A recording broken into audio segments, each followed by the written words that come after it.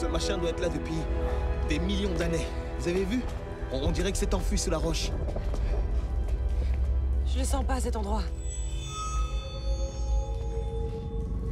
Les gars.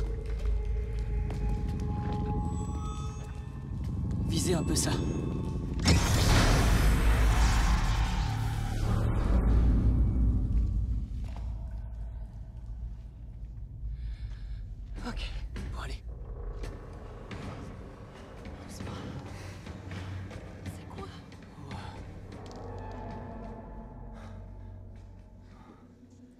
Non, Chut. Quoi? Tu crois qu'il y a des extraterrestres? S'il te plaît, tais-toi. Il fait super froid. Jason, on rêve ou c'est la réalité? On est dans un vaisseau spatial, c'est bien ça? Euh, Ouais, je crois alors. Alors respire tranquille. Ok. On va faire la une des journaux. Complètement malade, oui. Il y a quelque chose ici.